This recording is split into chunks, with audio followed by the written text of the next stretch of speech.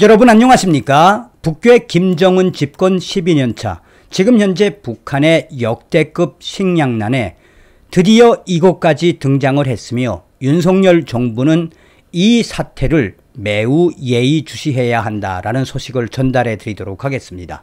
아시는 것처럼 북한 김정은 정권 12년 지금 현재 북한의 내부의 돈주들까지 자살하는 사태가 연일 이어지고 있지요.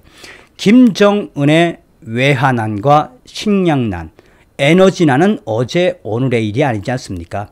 여기에 윤석열 정부가 들어선 이후에 역대급 한미일 군사 훈련에 북한의 육해공군이 쑥대밭이 됐었죠. 자, 우리가 이번 소식에서 왜 북한의 김정은 사태를 매우 예의주시해야 하며 왜 우리가 윤석열 정부에서 북괴 김정은을 멸망시키고 자유북진 통일을 이룰 수 있는지 소상하게 나온다 하겠습니다. 정성산 TV 좋아요, 구독, 알림은 큰 힘이 되겠습니다. 후원해 주시는 모든 분들께 가열차게 멸공. 자, 북한의 내부 소식은 일본의 아시아 프레스 보도로 여러분들에게 소개를 해 드리도록 하겠습니다. 일본의 아시아 프레스는 북한 내부 조사, 지방에서 기근 양상, 5월 들어서 금주림과 병으로 많은 사람들이 죽고 있다. 당국이 북한의 당국은 아사가 아니라 병사로 처리, 소나무 껍질 식용 또 출연. 자, 소상하게 르포를 기사화했지요. 북한 내부 조사, 지방에서 기근 양상, 5월 들어 병으로 많은 사람들이 죽고 있다. 금주림으로 많은 사망자가 나오고 있다는 정보가 지방 도시에서 속속히 들어오고 있다. 2021년 이후 노인 세대와 병약자 등 일부 취약층의 사망자가 나왔는데 사태가 더욱 악화하고 있는 것은 틀림없을 것이다. 정보의 내용은 매우 구체적이다. 연재의 세 번째로 5월 중순, 5월 중순 이후에 전해졌다. 자, 그러면서 내부 협력자의 소식을 소상하게 전했습니다. 5월 들어서 인근에서 4명이 아사했다. 해산의 생활은 지금 어떻습니까? B씨, 보릿고개 충군기에 들어서고 공궁하고 영양실조에 걸린 사람이 많이 늘어나고 있습니다. 제대로 먹지 못하고 빈혈에 걸려 밖에 나가지도 못하는 사람도 있습니다. 5월 달에 들어 우리 인민반에서는 4명이 죽었습니다. 영양실조인데 병으로 죽은 것으로 됩니다. 굶어 죽었거나 마찬가지인데 영양 상태가 나쁘니 결핵 환자도 많이 발생하고 있습니다. 꽃제비도 갑자기 늘었습니다. 매우 심각합니다. 자, 현재 농촌 동원이 한창, 한창입니다. 영양은 있습니까? B씨는 인민반에서 농촌 동원을 매일같이 조직하, 조직하고 있는데 최근에는 생활이 힘들어 20%만 나가고 있다. 어떻게든 살려고 발버둥 치고 있지만 또 장사를 하려고 해도 돈이 없고 10 임노동을 하려고 해도 힘이 없다. 그런 사람들이 죽고 있다라고 전하고 있습니다. 자, 군용 식량을 이 군용 식량을 방출해 배급으로 돌려도 부족한 상황. 굶주림의 확산에 대해 정부는 어떻게 대처하고 있습니까? 무직자, 직장을 무단으로 이탈한 사람, 무직자의 단속을 그토록 엄격하게 하는데도 최근에는 생활이 힘드니 출근할 수 없는 사람이 많아서 출근할 수 없는 사람이 많아서 결국 단속은 그다지 하지 않습니다. 중국에서 식량 지원이 들어올 거라고 당국은 말하고 있습니다. 다만 그것이 우리가 있는 곳까지 오는데 시간이 걸리고 먼저 군량미를 방출하고 있다고 합니다.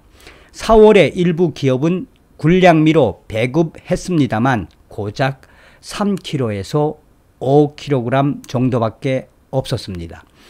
그걸로 어떻게 한 달 삽니까? 장사도 잘 안 됩니다. 굶어 죽지 말고 어떻게든 살아남자라는 게 주민들의 구호입니다. 시장은 어떻습니까? 농, 농촌 동원 기간이라 시장은 밤 6시부터 8시 사이에만 열고 있습니다만 장사가 잘 안 되니 사람은 많지 않습니다. 음식 장사도 위생 검열이 엄격해져 볼 수가 없게 됐습니다. 시장 관리소에 위생 확인증을 제출해야 합니다. 병원에서 발행하는데 인민반의 확인 도장까지 모두 찍혀야 비로소 음식을 팔 수 있습니다. 코로나 전염병이 아니라라고 확인되지 않으면 팔 수 없습니다. 특히 간염, 결핵 등에 대해 엄격합니다. 자, 시장에서의 식량 판매 금지 조치는 약간 완화됐다. 올해 들어 시장에서 식량을 진열에 파는 게 금지됐는데 지금은 어떻습니까?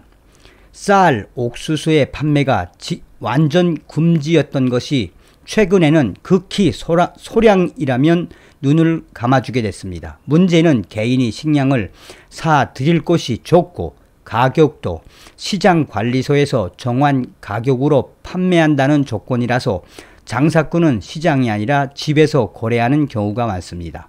집에서 파는 것도 10kg 미만까지입니다. 시장에 규찰 때 담당 안전원, 안전원이 수시로 체크함으로 시장에, 시장에 대량으로 식량을 도매하는 것은 상상도 못합니다. 그러면서 북한 당국은 아사로 굶어, 굶어서 죽었는데도 불구하고 병사로 처리하고 있다라며 식량 사정은 정말 심각합니다. 죽은 사람이 있습니다. 우리 동네에서도 영양실조로 누워 지내다 죽은 사람이 있습니다. 그 집에는 소금 한 톨도 없었다고 합니다. 장례식 끝나고 관도 없어서 마대에 싸서 집에서 내가고 있었습니다. 국어를 하는 사람도 늘었고 곧 죽을 것 같은 사람도 많습니다. 굶어 죽었는데 그렇다고 말하지 않습니다. 사망 진단서에는 결핵, 천식, 간염 등이라고 쓰지 아사라고 하지 않습니다. 자, 드디어 소나무 껍질을 벗겨 식량으로 최근에는 소나무의 안쪽 껍질을 벗겨서 팔고 있습니다. 1차 가공, 가공만 한 것이 1kg에 700원, 하나 약 104원입니다. 사가는 사람이 많아요. 산림 단속원이 나무 껍질을 벗기는 것은 단속하기 때문에 몰래 숨어서 팔고 있습니다. 하지만 그 700원이 없어서 소나무 껍질도 외상으로 사는 집이 있습니다. 어느 정도인지, 어느 정도 심각한지 알겠습니까? 소나무의 부드러운 내피를 물에 담그고 잿물을 넣고 끓인 뒤 수분을 짜낸 것을 잘게 자르면 똑처럼 되는 또 1990년대 후반 대기근에서 기근 시기에는 각지에서 소나무 내피 그러니까 소나무 껍질 그래서 북한에서는 송, 송기독이라고 합니다. 송기독 지금 이 정도로 북한이 어렵다라고 아시아 프레스가 소상하게 전하고 있습니다. 자, 그렇다면 서두에도 말씀을 드렸습니다만 북한 김정은 정권 12년의 역대급 식량난의 그 본질은 다 알고 있죠. 윤석열 정부가 이 사태에 대해 왜 매우 예의주시해야 하느냐. 정성산 TV를 잘 보신 분들이라면 아실 겁니다. 지금 김정은이가 중국 공산당에 완전히 꼬리를 내렸으며 또한 중국 공산당의 무기를 받으려고 하고 있죠. 중국의 A2AD라는 핵 사냥개를 자초하지 않았습니까? 여기에 김정은이가 여차하면 중국인민 해방군까지 끌어들일 생각을 가지고 있죠. 중요한 부분이 무엇이겠습니까? 지금 여기저기서 북한이 터져 나오고 있는 여러 가지 조항들, 북한 곳곳에서 터져 나오고 있는 안전원들과 보위원들, 당 간부들에 대한 폭치기. 이 상태로 가다 보면 북한 인민들의 강력한 저항은 곳곳에서 있을 수 있습니다. 정성산 선생, 윤석열 정부에게 강하게 이야기하십시오. 북한의 내부 폭동이 문제가 아니라 이런 유고시 북한의 내부 폭동이 터졌을 당시에 김정은이가 중국인민 해방군의 SOS를 날려 평양과 주요 대도시에 중국인민 해방군이